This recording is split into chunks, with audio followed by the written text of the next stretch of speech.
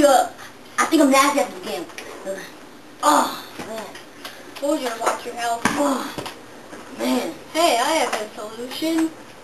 It's something that I bought from Tunnel Road. It's the Game Shark 2. It's only $99.99. See, the Game Shark has a catch. It, you could put cheats on almost any game, but here's the catch. You have to do it every time before you start the game. Just like the Game Shark 1, except it has even less cheats for less games, and it's more, and it's $20 more.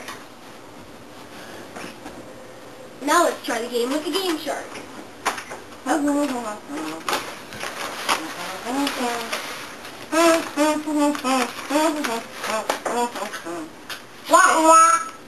What the heck? Wah, wah.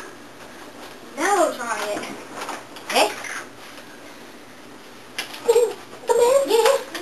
Go. Oh my god, no, stay on. Yes.